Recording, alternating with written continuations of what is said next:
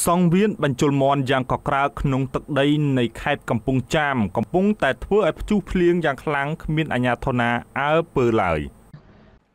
សហការឧបត្ថម្ភដោយក្រុមហ៊ុនសេងអៃដេកដេស្មិនធ្វើឲ្យគេហដ្ឋានរបស់លោកអ្នករស់នៅមានសុភមង្គលនិងទាន់សម័យសង្វៀនបញ្ជុលមន់យ៉ាងកក្រើកនៅទឹកដីនៃអាណាចក្រខេត្តកំពង់ចាម ដែលមានអ្នកញៀនលបែងជិះសុទ្ធតែឡានស៊េរីទំនើបទំនើបទៅលេងនៅទីនោះ តែអាញាធរបែជាសំងំឈឹងធ្វើមិនដឹងមិនលឺទីតាំងនេះនៅចំណុចស្ពាន23ចុះតាមវត្តប្រាសាទ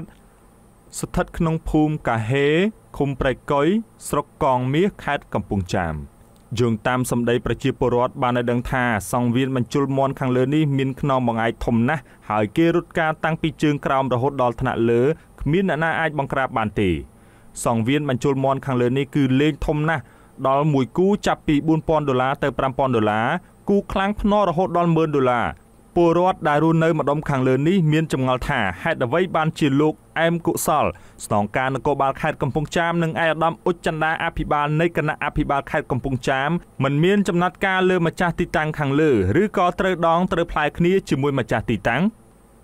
លើសពីនេះនោះទោះជាមានដឹងព័ត៌មាននេះក្តីក៏លោកអែមកុសលស្នងការខេត្តកំពង់ចាម និងឯកឧត្តមអ៊ុចចន្ទាអភិបាលខេត្តកំពង់ចាមតែហាក់គ្មានប្រសិទ្ធភាពមិននឹងថាមន្ត្រីក្រមអាវ៉ាត់ឯកឧត្តមអ៊ុចចន្ទារាយការណ៍កុហកឬក៏ត្រូវរើគ្នាសហការឧបត្ថម្ភដោយក្រុមហ៊ុនសេងអៃដេកដេស្មិនធ្វើឲ្យគេហដ្ឋានរបស់លោកអ្នករស់នៅមានសុភមង្គលនិងទាន់សម័យ។